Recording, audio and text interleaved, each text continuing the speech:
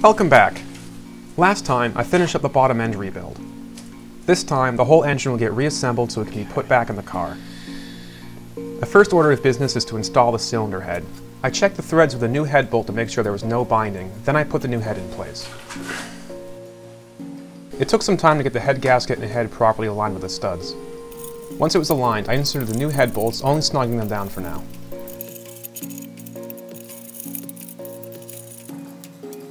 Next, I got the timing chain and guides in place. I was sure to install the oil pump chain too, since it goes in the first sprocket on the crank.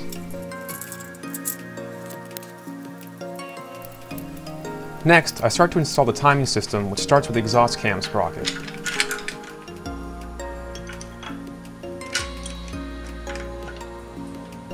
I turn the engine to top dead center using a screwdriver on top of the first piston to check.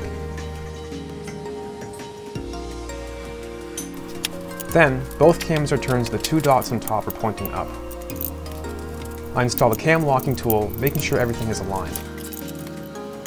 The upper timing chains get installed, and then I apply tension to the chain using the tensioner in my timing kit.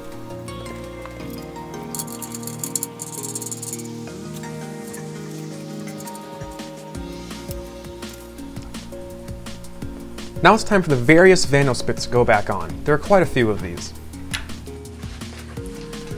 I won't be explaining all the steps since there are already some much better guides if you're looking for a how-to.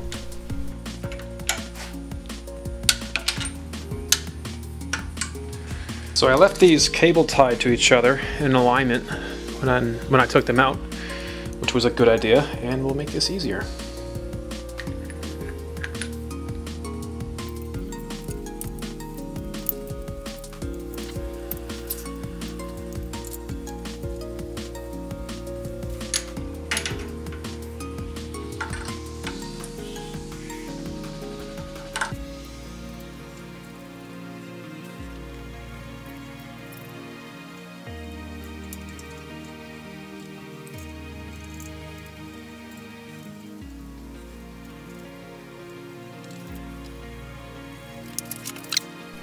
Finally, the cup locking tool can be installed to set the timing. This tool holds the cups in the right spot, preventing the timing from skewing, so the plates can be tightened up. The tool comes off and the timing is set. As a check, I rotate the engine over fully and make sure the cam locking tool still lines up. Everything looks good, so I can move on to the rest of the Vanos. So this is my Vanos that came off of my original cylinder head. This is a Vanos I pulled with a junkyard cylinder head for no extra cost, I might add. I know this one doesn't make any bad noises, so I'm just going to put the seal kit in this, and then I'm going to take the solenoids from this one since they're pretty clean. And as you can see, mine are quite rusty.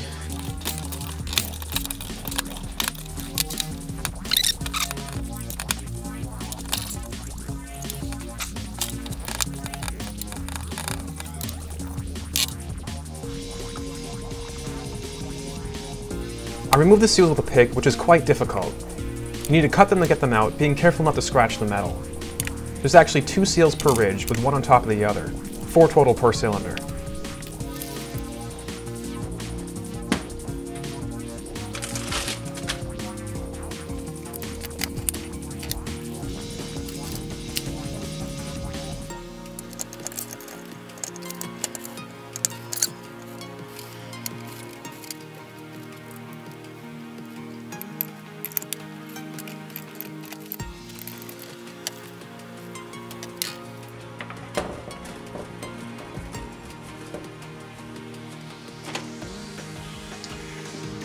Alright, good enough.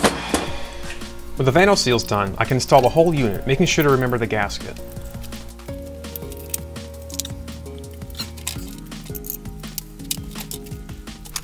The reverse threaded screws go in, then the caps, then the big plugs up front.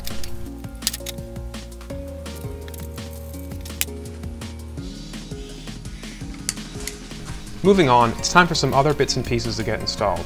I don't have a heater core anymore, so I can plug its supply with a special cap. Next, the oil filter housing can go back on. I replaced its gasket last year, so it should still be okay. The Vanos oil feed line goes on, and then I reinstall a secondary air pump block-off plate while I'm at it.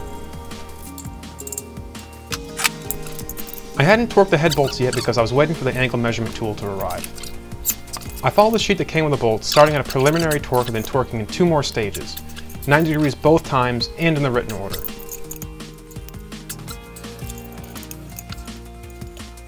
It occurred to me that this might mess up my timing since the head gasket would be compressed more, moving the cams closer to the crank. I checked, and sure enough it had moved about 25 thousandths. I did a quick recheck of the timing and only had to adjust it slightly. With that taken care of, I moved on to the oil galleys. I removed their plugs to clean the passages, and now they had to be reinstalled. These weirdly aren't on tapered thread, and there's nothing they bottom out on, so a thread locker is required. At first, I tried thread sealant, as I saw the 50s kid do, but it wasn't enough. The plug was still loose the next day. It has now been almost 24 hours, and this sealant is completely wet. And it's not holding this in whatsoever. We're gonna try some Loctite instead.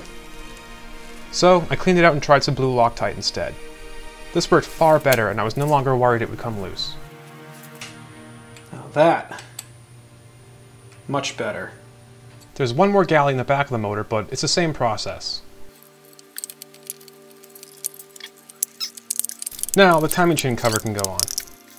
This was difficult to line up since there are bolts going from the top, too. It's been a long time cleaning the cover, and even now it doesn't look that great, but it's good enough.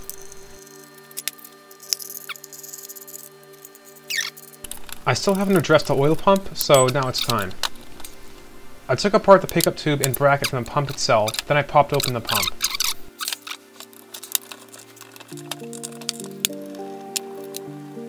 There isn't much to replace in here, just a regulator gasket.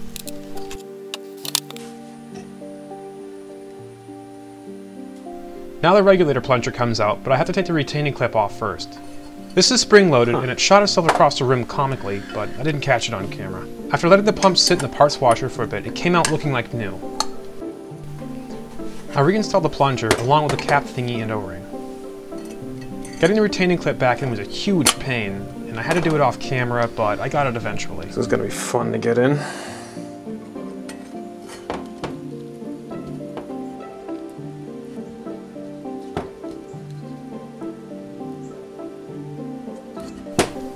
Now the gears went back in, making sure the dots faced outwards.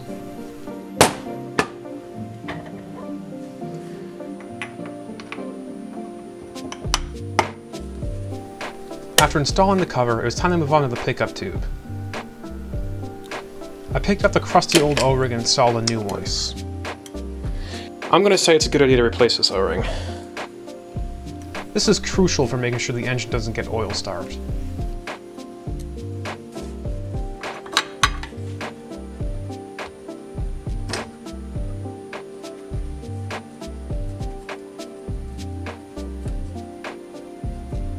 After tightening the nut, it's time to install a new oil pan baffle. I drilled out the rivets holding in the old one and filed them down flush. Then I had a friend weld a new baffle in because it's aluminum and very difficult to do yourself. I got that baffle from BimmerWorld and it's got these nice flaps for controlling the oil flow. This will make sure my engine doesn't get oil starved in long, high G corners. Now the oil pump and pickup can be installed on the bottom end. The oil pump sprocket goes on the spline shaft and the reverse threaded nut gets installed. This is known to back off, as we discovered when taking my engine apart, so it needs to be torqued properly and safety wired. Since I knew the rolling torque of the engine was about the same as the torque spec for the nut, I simply turned the engine over to torque it since my torque wrench doesn't work in reverse. Granted, the pump sprocket is bigger than the crank sprocket, so it'll be a bit tighter, which is probably better as long as it doesn't strip. I did the best amateur safety wiring I could. I only had to redo it once after breaking it. This is to prevent a nut from being able to back off by spinning to the right, since it's a reverse threaded nut. Welding the nut is also an option, but I'd rather not have to grind inside the engine to get it off.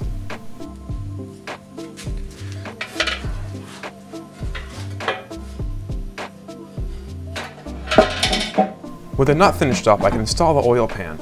Unfortunately, the baffle wasn't welded in as low as possible in the pan, so it was hitting something.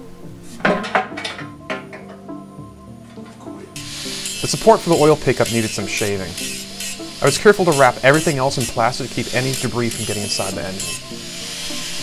With the pan fitting better, I put some liquid gasket on the seam between the timing cover and block before installing the gasket. The numerous bolts got tightened up and I was sure not to forget the oil level sensor.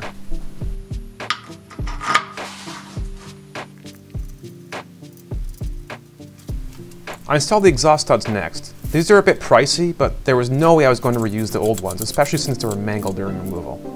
A quick jam nut makes the install easy, but there's 16 of these, so it takes a while. The water pump is next. It looked like some surface rust had formed in the impeller, but it's not too bad. The thermostat is close by, so installed that as well.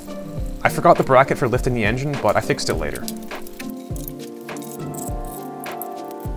I tapped in the front main seal and installed my new rust-converted and painted crank pulley. This thing was orange from rust before.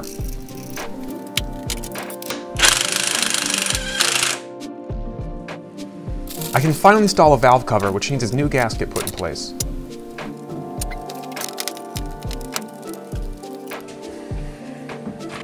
First, I decided to flush the engine with some oil, just in case there's any debris that could be cleared out. The spark plugs went in too, and I paid attention to their torque spec. It feels like they're yielding, but it's just a crush washer compressing. I wonder if I had a habit of not tightening these enough because of this. The valve cover goes on at last, making sure the gasket doesn't fall out. New grommet pieces get installed and I tighten them all down.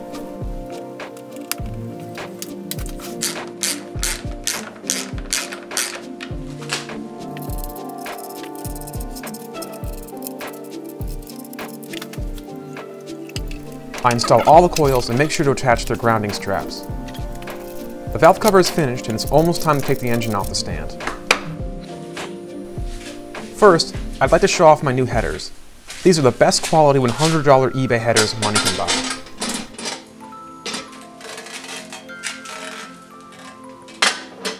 They actually look really good. It was satisfying seeing the engine almost complete. I installed the upper O2 sensors from the old headers and left out the lower ones. These aren't needed since there's no cats. We're almost done, I promise. The engine mounts get bolted back on, and yes, I know, I put the right one on upside down. I made sure the surfaces were shiny clean, since the grounding strap goes through this one. With the engine finally up the stand, I can install the rear main seal since the stand was in the way. This was tricky to get on since the seal had a flap that is slightly smaller than the crank. I made sure not to forget the two long bolts in the bottom.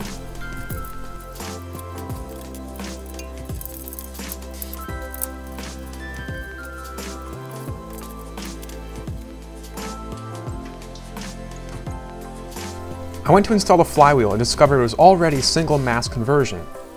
It's a good thing I noticed this since I can't buy an OEM clutch. I sanded down the clutch surface. I don't really care if the clutch vibrates a little from some imperfections since this is a track car. The flywheel bolts get installed and I decided to use some blue Loctite, most of which wound up on the floor.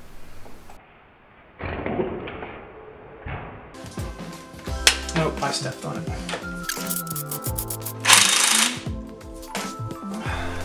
The bolts all got impacted to finish up the engine rebuild. Next time, I'll tackle the clutch and transmission, and then the engine can get reinstalled. There's still plenty to do before the car gets fired up. Wiring harness, fuel system, and exhaust to name a few, so stay tuned to see how it turns out. As always, thanks for watching, feel free to like subscribe, and I'll see you in the next one.